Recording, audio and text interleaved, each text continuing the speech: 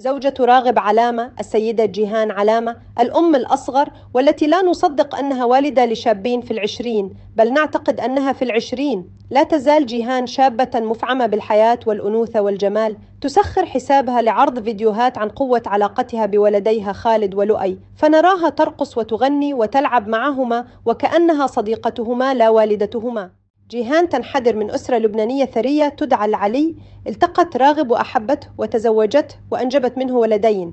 يوما لم نسمع أي خلاف حدث بينها وبين حبيب عمرها بل لا تزال تحبه وكأنه اليوم الأول للقائهما.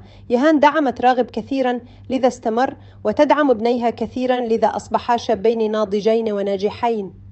هل تعجبكم جيهان وحياتها؟ من النادر أن نرى امرأة قادرة على تفهم ظروف عمل زوجها الفنان، لذا لا تنجح الكثير من هذه العلاقات، لكن جيهان تفهمت وتأقلمت بل ساهمت بإنجاح زوجها السوبر ستار أكثر، فتألق بعد ارتباطه بها ولم تتراجع نجوميته، والآن ابناها يحققان النجاحات أيضا بفضل دعمها لهما، لؤي في عالم عرض الأزياء وخالد كرجل أعمال واعد.